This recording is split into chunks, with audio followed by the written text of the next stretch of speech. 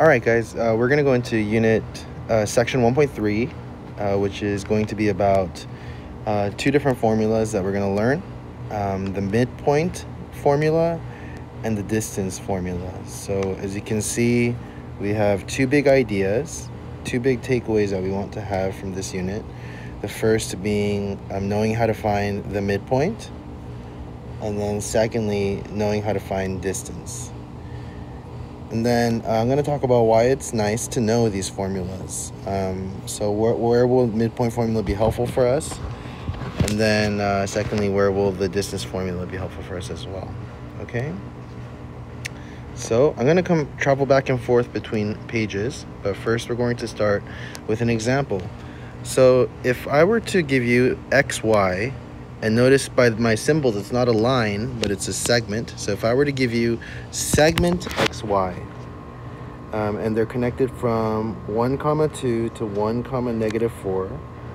So if I were to just connect those two points like that. And if I was to ask you to locate the midpoint of that guy, um, suppose I, I suppose many of us would notice that from here all the way down that it is six units total. Right? So if it's six units, then we know that the middle, right, the middle point has to be right here. Right? It has to be three units away. And so by by by eyeballing it and then just by locating it, you know, we can figure out the solution for the midpoint, which is 1 comma negative 1. Okay, and the way that I found that, um, so this is our x, this is our y, and so the first number is always our, our x number, and the second number is always the y number. So this is 1, and then I went down one, so negative one. So the answer here would be one comma negative one. Okay? So what if we're given a situation like the second option here where it says find the midpoint of AB, segment AB. And so notice once again, here's my X, here's my Y. So the way I got 1 comma 3 for A was I went over 1, and then I went up 3. 1, 2, 3, right? And then I got to my point. And then 6 comma negative 2, the same deal. 1, 2, 3, 4, 5, 6, 1, 2. So right 6, down 2. And then if I connect these two points with a line,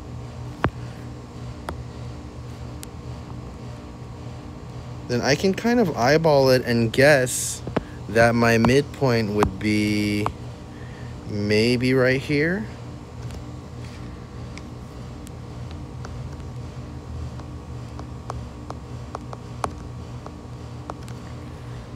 Right? But all that is is a guess in this case, right? So the question is, how do we find the midpoint, right? We'll get easy examples like the first one where we can just kind of eyeball it and count. But what about examples like this where we don't know how to do it?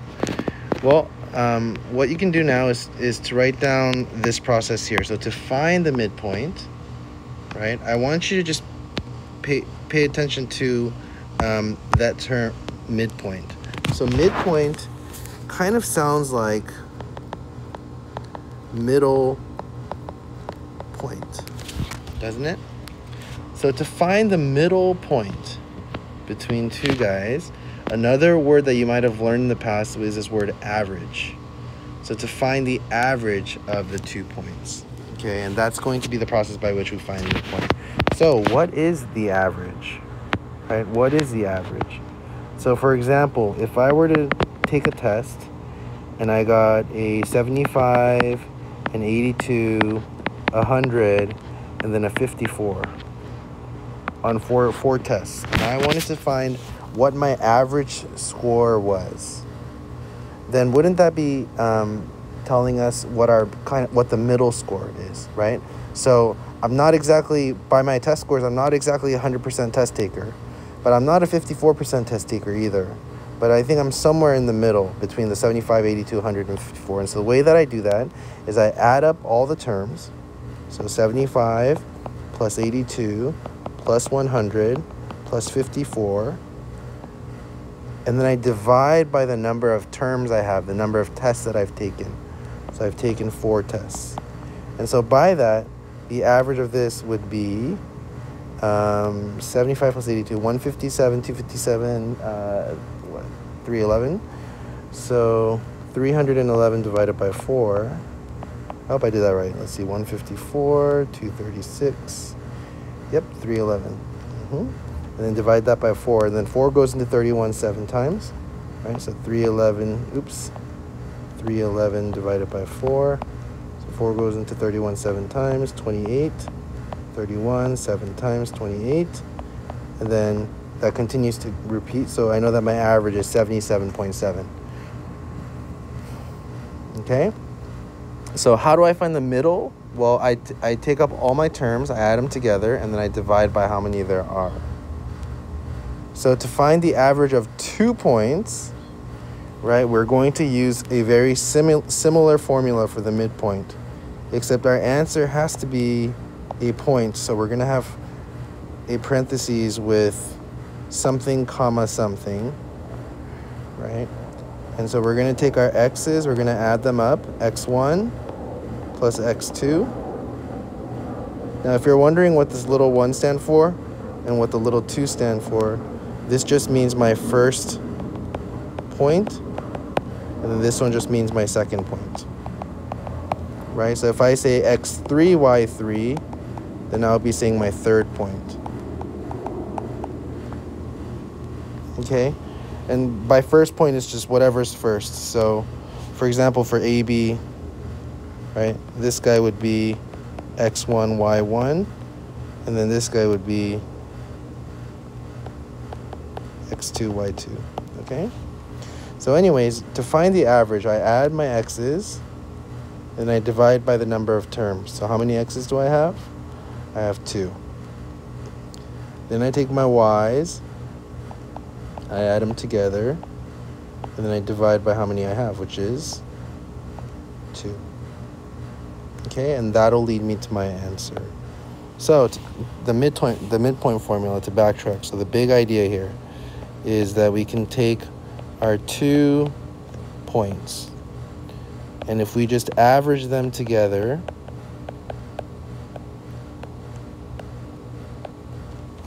they will give us the midpoint.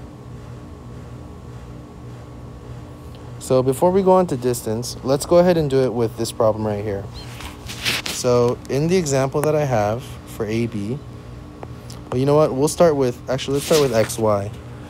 So using my formula, I can say that the midpoint would be 1 plus 1, because this is x1 and this is x2 divided by 2 because there's two terms. And then I can do that with my y1 and my y2.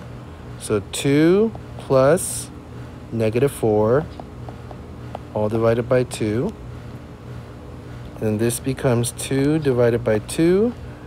And then 2 minus 4 divided by 2. So this becomes 1, negative 2 over 1. And so my midpoint is 1 comma negative 2. Okay. Uh, do I have a typo here? Hold on. 1 comma 2.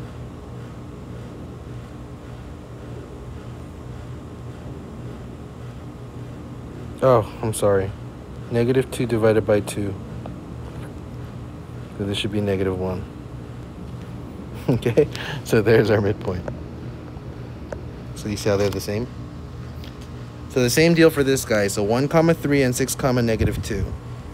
So let's take our first x, 1, add that to 6, divided by 2, and then take our first y, so 3, add that to negative 2, divided by 2. So 7 over 2, 1 over 2. And so look at that. So the midpoint is a not pretty number. In other words, 7 divided by 2 would be like 3.5, 0.5, or 1 half. And, and check it out. So one, two, three, and then 3.5, and then 1 point, and, and then 1 half five lead us to our midpoint right there. And so I actually guessed pretty good. I guessed pretty well. So the midpoint would be 3.5 comma 0 0.5. All right? Okay, so why is this helpful for us? Because the midpoint first first of all, it tells us the middle point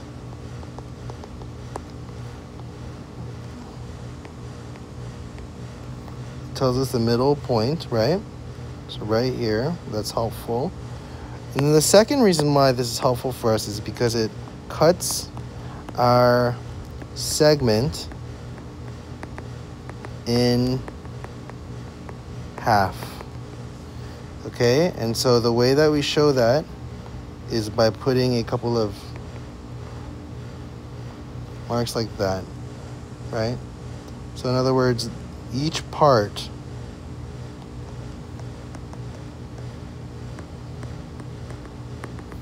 is congruent. So that's helpful for us, okay? All right, so that is our midpoint formula. Let's go ahead and move on to the distance formula. So for midpoint, we found the middle point. So we needed an x, we needed a y. Well, for now, what we're going to do is we're going to find the distance. When we think of distance, uh, we want to think of the term how far. How far. So if I ask you how far is it from here to, I don't know, how far is it from here to Canada, right? We would give a number as our answer. We would not give a point, right?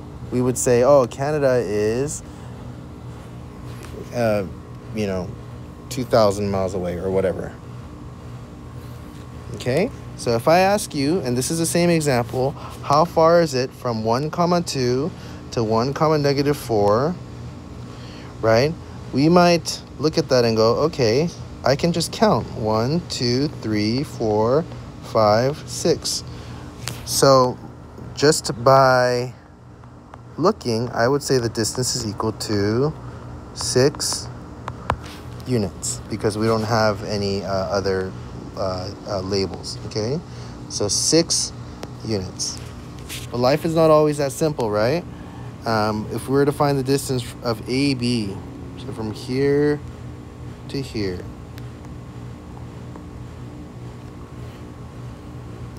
it's not quite as easy to count because we don't really know what exactly we're counting and everything's going kind of diagonal.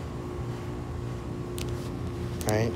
But when things are going left to right, um, we can it, it's easy just to count. Okay? So to find the distance formula, uh, to find the distance between two points, we can use something called the Pythagorean theorem. And so what is a Pythagorean theorem? And I don't know if you remember from previous classes, but the idea being that if you have a right triangle, right, something like this. Oops. So if you have a right triangle,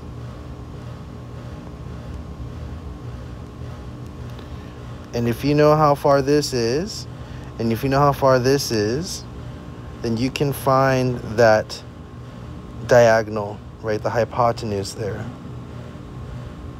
And so doesn't C look a lot like AB? Right? Because AB is going diagonally across the grid. And those we can't count as well um, as we can the ones that are going up and down, like A, or the ones that are going left and right like B. So the Pythagorean theorem is a squared plus b squared equals c squared. And so this gives us a way to actually find c, right? So if I were to just re rewrite that, c squared equals a squared plus b squared, to find c, to figure out how far it is from one point to another, we can take the square root of a squared plus b squared. And the way that I did that was I wanted to get rid of this little squared symbol. And to get rid of a squared, you do the opposite um, equation, uh, the, op the opposite operation, I'm sorry. And, uh, which would be to take the square root, take the square root, and that would take us here. All right. So let's take it over to our example problem here, and then we'll come up with a formula at the end. And let's go ahead and draw straight down and straight across. And notice that, that by doing that, I've drawn myself a right triangle like that. And then to figure out how far it is, I can just count. So one, two, three, four, five.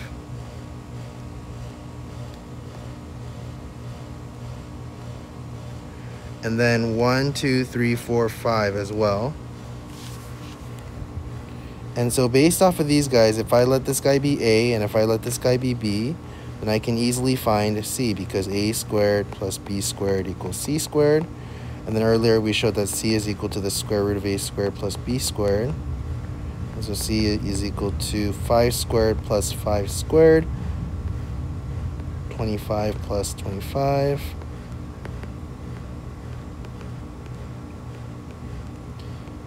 Square root of 50 uh, which can be broken up